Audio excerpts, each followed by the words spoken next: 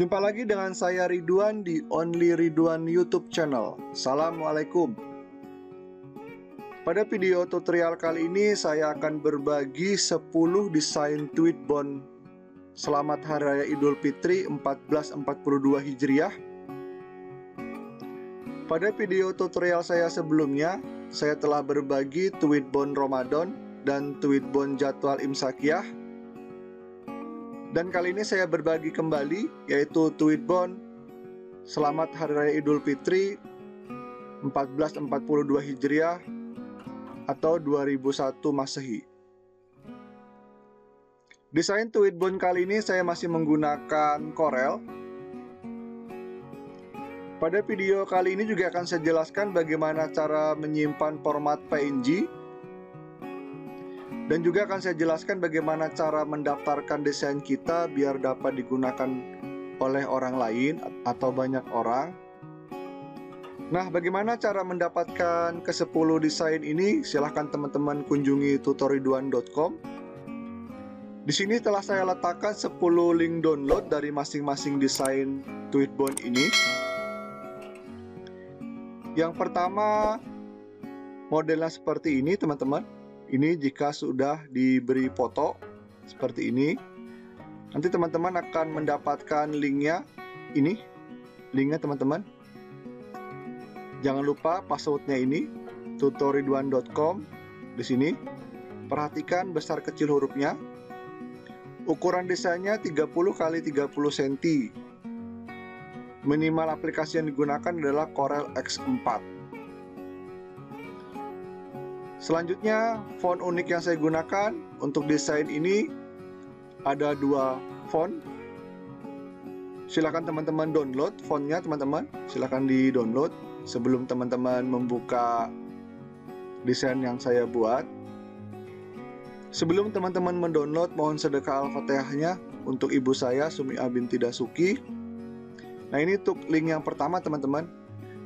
Dari masing-masing desain sudah saya siapkan format PNG tanpa teks seperti ini teman-teman. Silakan teman-teman save saja gambar ini. Ini kualitasnya cukup bagus. Format PNG ini bisa teman-teman gunakan jika teman-teman mendesain tanpa menggunakan aplikasi Corel, misalkan Photoshop atau PowerPoint atau aplikasi lainnya. Teman-teman bisa menggunakan format PNG ini yang tanpa teks, teman-teman tinggal menambahkan teks dengan aplikasi yang teman-teman gunakan. Nah, berikutnya yang desain kedua seperti ini, teman-teman. Nah, jika teman-teman ingin menggunakan langsung desain ini, tinggal menambahkan foto, teman-teman tinggal klik di sini untuk menambahkan foto teman-teman semua. Di setiap desain saya sertakan linknya, teman-teman. Desainnya ini, linknya di sini.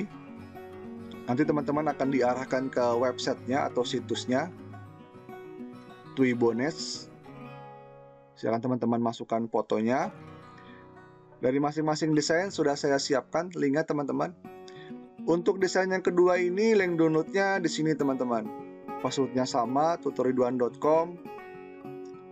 Ukuran desainnya sama, mungkin yang berbeda ukuran filenya saja. Kalau untuk desain yang ini teman-teman, saya menggunakan font uniknya ini teman-teman. Saya siapkan juga format kosongan. Format PNG tinggal ditambahkan teks sesuai dengan keinginan teman-teman semua. Desain yang ketiga seperti ini teman-teman, link downloadnya ini. Desain yang keempat seperti ini. Seperti ini, link downloadnya ini. Sekali lagi, sebelum teman-teman mendownload, mohon sedekah Al-Fatihahnya untuk ayah saya, Nurdin bin Ibrahim. Berikutnya desain yang kelima seperti ini teman-teman. Link downloadnya ini, passwordnya sama. Terus desain yang ke-6 seperti ini, desainnya. Link downloadnya di sini teman-teman. Font uniknya ini. Sekali lagi teman-teman download dulu fontnya, lalu diinstal Desain yang ketujuh seperti ini teman-teman. Setelah dimasukkan foto, link downloadnya di sini. Berikutnya desain yang kedelapan seperti ini. Desainnya, link downloadnya di sini. Desain yang ke-9 seperti ini. Setelah dimasukkan foto, link downloadnya ini. Selanjutnya desain yang terakhir, desain yang ke-10 seperti ini setelah dimasukkan foto. Link downloadnya ini teman-teman. Nah, jadi seperti itu. 10 desain Tweetbone Hari Raya Idul Fitri 1442 Hijriah. Nah, bagaimana cara menyimpan format PNG dan bagaimana cara mendaftarkan desain kita ke Twibones agar dapat digunakan orang lain atau banyak orang?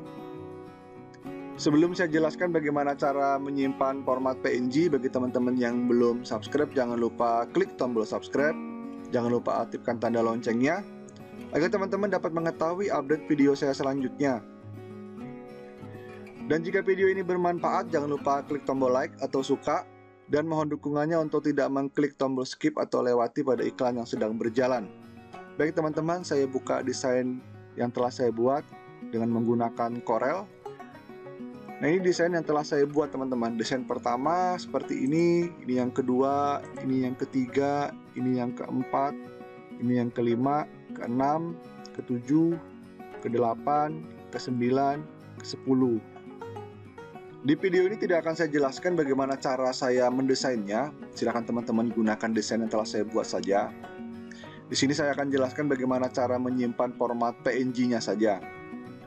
Jika ada desain yang ingin dirubah, teman-teman tinggal teman-teman rubah. Misalkan teksnya ingin dirubah kata-katanya atau teks yang ini atau teman-teman ingin menambahkan gambar lain format PNG tanpa background ya teman-teman atau teman-teman ingin mengurangi gambar yang telah saya buat silahkan teman-teman atur saja sesuai dengan keinginan teman-teman semua baik teman-teman kita akan menyimpan desain kita formatnya PNG biar bisa kita daftarkan dan bisa digunakan oleh orang lain. Saya simpan format gambar yang terakhir ini saja karena yang lainnya sudah saya save. Pertama, seleksi semua objek seperti ini. Setelah semua objek diseleksi seperti ini, lalu teman-teman pilih menu file, pilih export atau Ctrl E pada keyboard. Lalu ketikkan nama filenya, misalkan saya ambil nama filenya yang ini, terus saya ganti di sini menjadi 10 Shape as tipenya teman-teman pilihnya PNG teman-teman. Pilihnya PNG. Ini boleh dicentang, boleh tidak. Tapi kalau ada desain lain di luar desain kita, ini wajib dicentang. Karena desain kita tidak ada lagi yang lainnya, cukup yang kita seleksi ini, maka ini tidak perlu saya centang. Terus teman-teman pilih tombol ekspor. Color modenya saya pilih RGB. RGB di sini resolusi di sini saya ganti yang lebih kecil 150 jika resolusi 200 ini ukuran filenya 3,27 mega. Saat proses penguploadan ke situs Tuibonesnya maka akan sedikit uh, lambat. Jadi saya kurangi saja. Saya kurangi menjadi 150 resolusinya. Nah ini ukuran filenya 2,12 mega. Cukup seperti ini teman-teman. Sebenarnya syaratnya itu tidak boleh lebih dari 5 mega sebenarnya. Tapi saya buat separohnya begini saja. Terus saya oke. Okay. Nah teman-teman sudah mempunyai desain format PNG yang ini yang baru kita uh, simpan format PNG berlubang teman-teman di sini ya berlubang. Nah, selanjutnya kita akan daftarkan biar desain kita ini dapat digunakan oleh orang lain. Kembali ke tutoriduan.com, di bagian bawah sini teman-teman sudah saya siapkan link untuk mendaftarkan desain kita. Ada dua link teman-teman. Yang pertama bisa menggunakan tweetbone.com, yang kedua bisa menggunakan tweetbones.com. Saya biasanya menggunakan yang ini. Saya klik saja di sini. Nah, teman-teman, sebelum teman-teman membuat campaign atau membuat tweet bond, nah teman-teman harus daftar dulu di sini. syarat daftarnya cukup mudah sekali. Teman-teman hanya memasukkan email dan password saja. Nah, jika sudah punya, teman-teman tinggal klik di sini masuk. Kebetulan saya sudah buat akun di sini. Saya klik masuk. Ini, lalu saya klik masuk akun saya. Nah, saya udah mendaftarkan banyak desain ke sini, teman-teman. Ini baru saya masukkan desain ini. Baru 9 untuk ucapan selamat hari raya. Nah, yang tadi kan kita daftarkan teman-teman. Nah, cara membuat campaign, teman-teman cukup klik ini buat campaign di sini. Maka di sini ada form yang teman-teman harus isi. Yang pertama URL. Nah, di sini bisa teman-teman ketikkan seperti ini. Twibbon Idul Fitri 1442 Hijriah. Saya beri URL yang berbeda dengan yang, yang lainnya teman-teman. Saya ketikkan 10 gitu ya. Nah, di sini judul teman-teman bisa mengetikkan Selamat Hari Raya besar fontnya hurufnya besar awalnya. Idul Fitri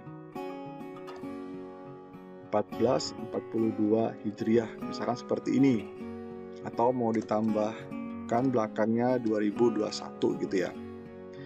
Nah di sini deskripsi kampanyenya teman-teman bisa uh, mengcopy saja yang seperti ini saya taruh di sini. Terus di sini koma misalkan mohon maaf lahir dan batin gitu ya. Oke. Nah di sini tagnya teman-teman bisa ambil yang dari sini kita copy saja. Ini saya copy saya paste di sini. Terus saya copy lagi begini. Kita buat tagnya boleh banyak misalkan begini misalkan lagi begini ini kata-kata kunci teman-teman. Nah begini misalkan ini juga saya buat mohon maaf lahir dan batin gitu ya. Bisa juga kita tambah misalkan tweetbone idul. Nah ini sudah banyak nih orang yang buat teman-teman. Teman-teman tinggal ambil saja. Misalkan ini kita ambil terus saya ketikkan lagi Twibbon, Idul, yang mana yang belum? Ini kita ambil gitu ya. Misalkan tambahkan lagi ucapan Idul Fitri 2001 kan gitu kan. Ucapan Idul Fitri keluarga misalkan seperti itu. Selanjutnya ketikkan lagi misalkan Idul Fitri seperti ini. Dibuat banyak juga nggak apa-apa teman-teman. Nah sudah seperti ini, nah di bagian bawah sini teman-teman masukkan desain yang format PNG tadi yang sudah kita simpan tadi. Klik di sini. Nih kita buat tadi ya yang terakhir ya. Ini klik open. Akan tersimpan seperti ini. Nah di sini caption postingannya teman-teman bisa membuat ucapan sebenarnya teman-teman di sini. Tapi saya buat begini saja, ini saya copy saja dari sini. Sudah saya siapkan, teman-teman bisa mengikuti. Saya paste di sini. Misalkan untuk lisan dan sikap yang tak terjaga, mohon dibukakan pintu maaf yang sebesar-besarnya. Selamat Hari Raya Idul Fitri 1442 Hijriah. Mohon maaf lahir dan batin. Seperti ini contohnya teman-teman. Sudah seperti ini, lalu teman-teman klik mulai campaign. Ditunggu hingga 100%. Oke, sudah 100%. Nah, desain kita sudah kita daftarkan di sini. Dan ini bisa digunakan atau di di-share ke teman-teman yang lain. Nah, misalkan teman-teman ingin share URL-nya. Teman-teman tinggal salin ini, salin URL-nya. Lalu bisa kita share ke grup-grup WA gitu ya, atau grup-grup media sosial lainnya. Nah, jika teman-teman ingin menghapus misalkan uh, desainnya kita ada yang salah gitu ya, teman-teman bisa hapus klik ini. Tinggal dihapus. Kalau klik ini terhapus. Nah, tapi jika teman-teman ingin menambahkan kalimat lain, teman-teman tinggal klik ini edit. Nah, misalnya kita klik edit, teman-teman ingin menambahkan kata-kata misalkan di deskripsinya ini atau ingin menambahkan tagnya lagi atau ingin menambahkan kata-kata di sini di captionnya. Kalau sudah tinggal di save lagi. Jadi seperti itu ya teman-teman. Nah, jika teman-teman ingin memasukkan gambar ke sini, teman-teman tinggal klik di sini. Lihat gitu ya tinggal lihat nah teman-teman tinggal masukkan gambar di sini pilih foto gitu nah tinggal teman-teman cari foto yang sesuai. Misalkan saya cari di di sini kita cari foto sesuai dengan keinginan. Misalkan ini gitu ya. Sambil foto yang sama. Nah tinggal teman-teman atur posisinya digeser ke bawah seperti ini. Atau kalau misalkan terlalu besar tinggal di scroll pada mouse untuk mengecilkannya. Tinggal diatur saja. Nah, seperti ini teman-teman. Jika sudah selesai, klik crop. Setelah diklik crop, maka teman-teman bisa mendownload. Nah, ini klik download. Maka gambar sudah tersimpan di sini. Tinggal teman-teman share di media sosial teman-teman semua. Jadi seperti ini teman-teman. Gimana? Mudah bukan? Cara mendatarkan dan memasukkan foto ke desain yang telah kita buat. Nah itulah teman-teman 10 desain tweet bond Selamat Hari Idul Fitri 1442 Hijriah dan bagaimana cara menyimpan format PNG dan juga bagaimana cara mendaftarkan desain kita agar dapat digunakan oleh orang lain. Semoga tutorial ini bermanfaat. Sekali lagi bagi teman-teman yang belum subscribe jangan lupa klik tombol subscribe atau berlangganan dan tentunya gratis bagi teman-teman yang belum berlangganan. Jumpa lagi di video tutorial saya selanjutnya. Tetap semangat, tetap jaga kesehatan diri dan keluarga, dan selamat Hari Raya Idul Fitri 1442 Hijriah. Sukses selalu untuk Anda. Assalamualaikum.